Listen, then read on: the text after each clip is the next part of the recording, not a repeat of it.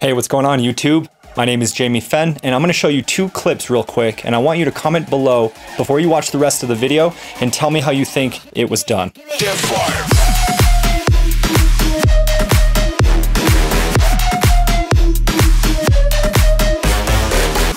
If you guessed that this was shot on a green screen and then I tracked him into the background, you are wrong.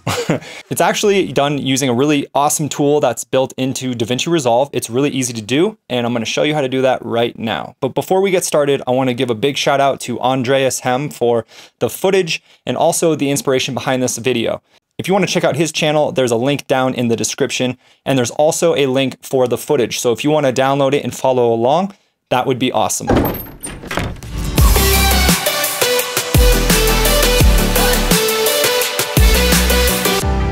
So once you've downloaded the footage or you use your own footage, drag it into your timeline and right click on the clip that you want to do this on and come up to new Fusion clip. Put the playhead over the clip. Let's go into Fusion. So once you've opened Fusion, click on the MediaIn node and hold down shift, push spacebar, type in paint. Then we want to come up to this tool right here, which is the polyline stroke tool. And we're going to just create a perfect straight line by clicking at the top in the bottom of what we want to eliminate from the frame. By default, it generates this white line, but if you come over here to the inspector and come under apply controls, you'll see this little barbed wire icon. That's wire removal. Look how easy that was. You want to adjust this to not be so soft and be so big because it kind of cuts into his hair here. So we can go under brush controls and adjust the size down.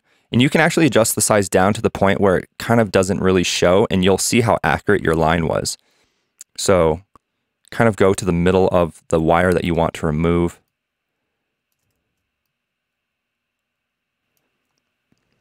And then you can adjust the size again to kind of make sure it goes outside of that line. And you can adjust the softness as well. So once you've done that, you're going to have to animate it. And by default, the wire removal tool will not just automatically keyframe once you start moving forward with the frames.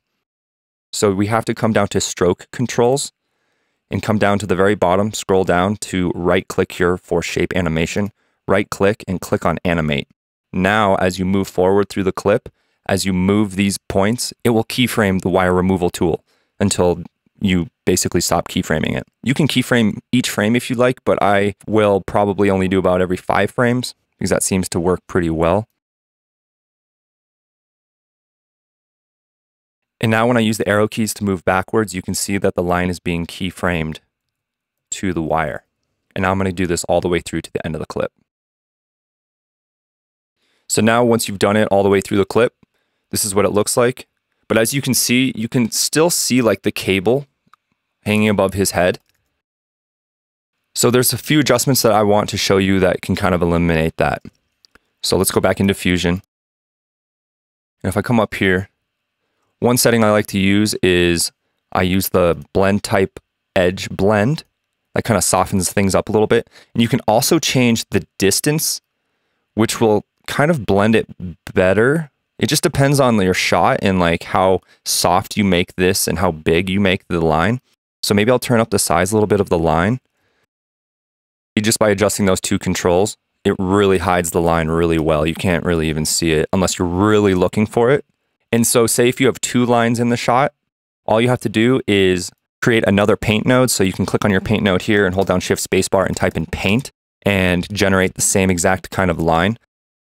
So say you have a shot that has not just necessarily a straight line in it. You can actually come back up to this polyline stroke tool.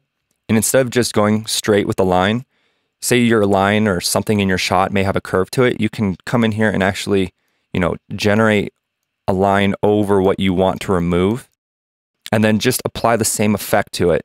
And when you keyframe it, so you'll come back down here and right click and animate that line, you can come in here and actually kind of move it accordingly to get a perfect wire removal or line removal or some type of object removal. And make sure when you shoot something, it doesn't have the wires going in front of someone's face because it will distort it just a little bit.